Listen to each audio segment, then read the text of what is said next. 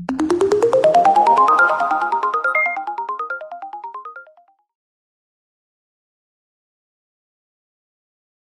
today we're going to be unboxing the Flashforge Dreamer.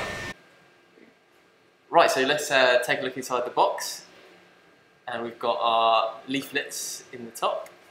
And there's the lid for the machine. You might need two people to lift it out of the box. It's a bit tightly packaged, but that's always good. We've, we've got a little accessories pack at the bottom of the box there, and a power cable in there as well, a UK power cable. There's quite a few things in the accessories pack there. You get a scraper and some tweezers, I think, along with some other tools as well.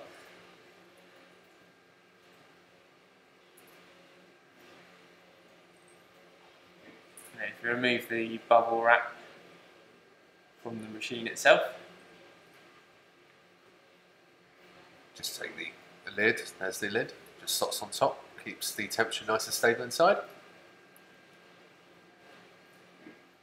Now we've got the USB cable in there, an SD card as well. And there's the extruder.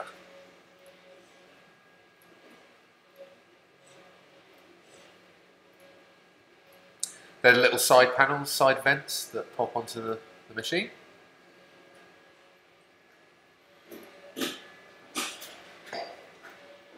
and these are the uh, build plate stickers uh, which are used to help make the help make your print stick down really well.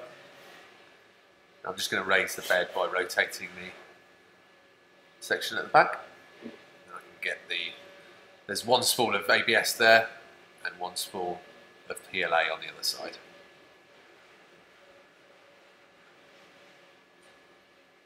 And then in this uh, polystyrene there's uh, some filament holders, two filament holders there. And then that's a little card that you use to level the bed. Now if I just place the extruder in head, I think there's a few sections that hold that in place. And there's everything that you get in the box.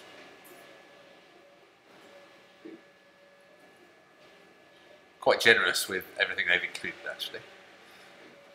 If you enjoyed this video, please like, comment and subscribe. Also, come follow us on Facebook, Twitter, and Instagram. You can find out more about our products and services by visiting dream3d.co.uk.